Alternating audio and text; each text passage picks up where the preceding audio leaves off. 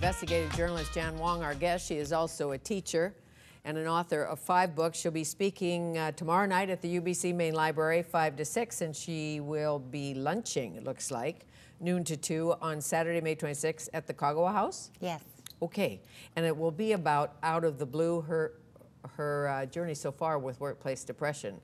Uh, I understand why you would have a difficult day when the when Parliament denounces you for what you wrote, right? The That's Prime right. Minister of the country Yes. says, He wrote a letter to the Globe and we published it. "Good." uh, it's embarrassing. No, it's not that embarrassing. No. It's all right. I mean, journalists can handle that. But who else? Uh, Uh, Charest, Charest wrote a letter. We published it. Saying like what? You're totally wrong. Yeah, This totally is wrong. not how Idiotic. Quebec people are. Right. This is not what we believe. We embrace ethnics. Right. I'm totally wrong, which is why I got all that hate mail. And right? how do you feel you are now?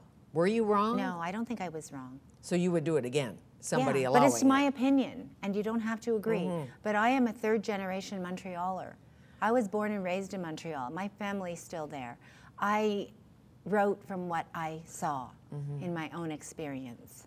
Did you think some of this depression was about the tough things you do deal with when you see the seedy side of life and the murder and the mayhem and the senseless killings? And at some point, especially when you work in a tough newsroom, Mm-hmm. it's just all too much.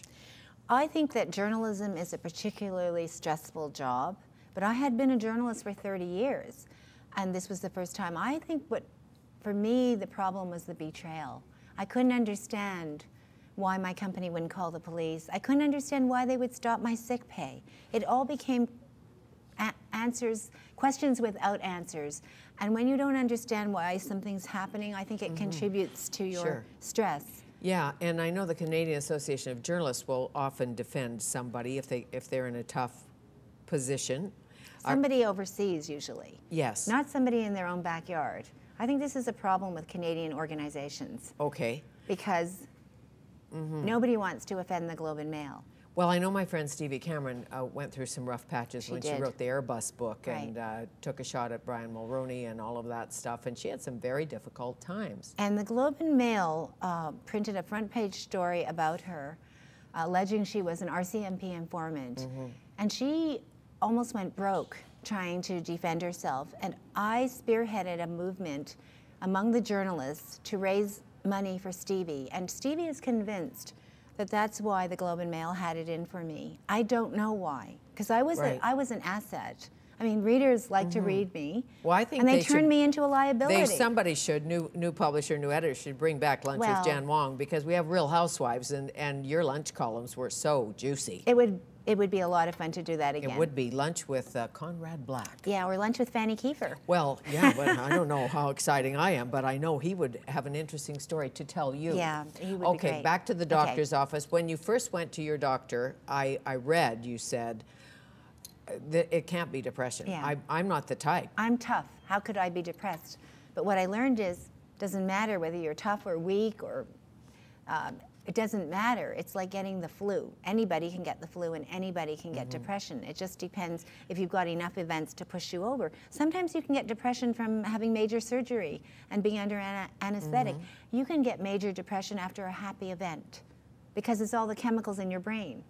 That's it's the imbalance. So you can have mm-hmm. a picture perfect wedding, and on your honeymoon, you can be depressed, and you'll feel really bad because you don't know why you should feel bad. You should be elated, but you're not. And Right. that, it happens to pro athletes at the top of the chain, Yes. and they're no That's longer right. playing for the Chicago Blackhawks Right. or something. They don't know who they are. Right. Well, without, well, they know who they are, but they're no longer the hockey hero. That's right. They, they, well, we see it all the time, but we don't hear about it from employees because when they leave, they generally aren't allowed to speak about it. Mm-hmm. But when my doctor told me, she told me very early on, I just cried even harder. And I said, no, it can't be. I can't be depressed. And it took me a long time. Even after I started to see the psychiatrist, that was in my relapse period, because I figured, well, if their psychiatrist says I should see a psychiatrist, I better see one. Even then, I wouldn't go on antidepressants for quite a few months. Wouldn't go on. I was too afraid. I understand. I thought it was would affect my brain, and I thought it would be permanent, or I thought I'd be addicted. None of that's true. So you tried They help. everything else, uh, uh, leaving town, going to Yeah. Paris, doing Yeah. what? Well, travel, it turns out, is really good when you're depressed. It's, and I trace it in my book. I talk about the fight or flight syndrome, and I think now it's literally we take flights. Right. I think because you have to get away from the stressor. And Mm-hmm. in my case, it was the Globe and Mail, and those boxes were on every street corner. I Right. Mm-hmm. really couldn't. I couldn't look at it. I understand, but if you're clinically depressed, as you know so well because you have been there, uh, it doesn't matter where you go.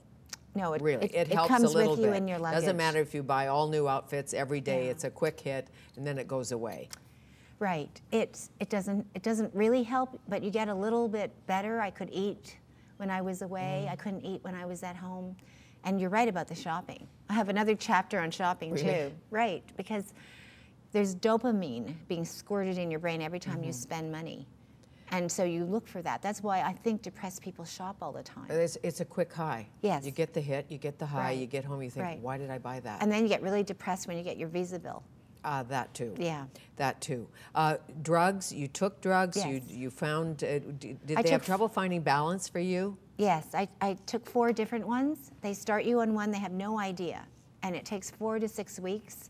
If it doesn't work, they start weaning you off it and they start the new one right away. So then you're on two. Right. That doesn't work, they wean you off it, then they start the third one. It was the fourth one that seemed to work for me, Wellbutrin. But I don't know if it really did because by then I figured I have to leave the Globe and Mail. I have to, I have to get out of there. Right. But did you try um, alternative options, uh, acupuncture? Do you know what I mean? When you get Yeah, any, when you have any no. illness, you think I've got to try anything. No, I You're so didn't. depressed you can't try it. Maybe. Yeah, I, I only went to see my psychiatrist every week. Mm-hmm. And um, I cried every week for, I don't know, more than a year. And um, I don't know how he could stand it. I don't understand how psychiatrists can stand doing their job. I understand. But what about your family? Oh, and my family were, they were wonderful. My two boys were teenagers then, 13 and 16, and they just instinctively stepped up to the plate. And my husband just held us all together. It was all by instinct because we didn't know about depression either. And um, the boys didn't really have their rebellion at all because they were just doing everything. You know, they would go for walks with me. There are no teenage boys who go for walks with their No, mothers. Not many. But your boys had been with you when you were pretending to be a domestic Yeah, goddess, they- as I recall. so they knew that eventually, maybe maybe they didn't know. They were probably afraid you wouldn't come out of this. Uh, Yeah. What they cried a lot too. isn't? They cried and it, I was so angry all the time with him. I tried to throw my son's laptop out the window one night, and my other son sort of grabbed me in a bear hug so I couldn't throw the laptop because I was just Mm. Like angry. mom's cracking up, pretty Mom's much is what they up. probably She's thought. She's lost her identity. I was so identified with work that when Mm. I didn't have my work and I couldn't write and I was getting fired, I mean, I just was so lost. Okay. I, I didn't know what to do. and now you do. So what was the lesson? The You're not your job. You're Wha- not your what job. was the lesson? The lesson is get ready because you're probably going to have a, a spell of depression. The chances are really high. And think about work as work, but always have your family, always Mm-hmm. have your friends, and think of outside interests. What saved me a lot was my music. I play flute, high school band level, but it Right. saved me. I started playing in all these different groups. You have to do more than just go to the Yes. office. I was addicted to my byline, and I, Okay. I'm not anymore. Well, I can't imagine if you didn't have a job and you didn't have a family and you were clinically depressed, how terrible that would be. And that's why I wrote the book. I want people to know about the symptoms. I want people to know there's suicide ideation, but that it's common. It's normal, and when this passes, you won't feel like killing yourself. So don't kill yourself. Did you feel Yeah. like it? Yeah. You did, eh? I, but it's common. Uh-huh. You, it- sounds kind of dramatic, but it's completely typical symptom. And now you're But I- teaching, you're in where? Nova Scotia? Fredericton. Uh, Fredericton, New Brunswick. St. Thomas University, uh, the only liberal arts university in Canada, and I teach journalism to undergrads. Okay, and tell them to ask the tough questions. I do. I bet you do. I do. I bet you do. Are they really nice today in they're- journa- they're- journalism school? They're so nice in New Brunswick, but I have Mm-hmm. to teach them how to be tough, how to file those freedom of information requests. We filed 100 last term. Okay, nice to see you. Thank Thank you. you.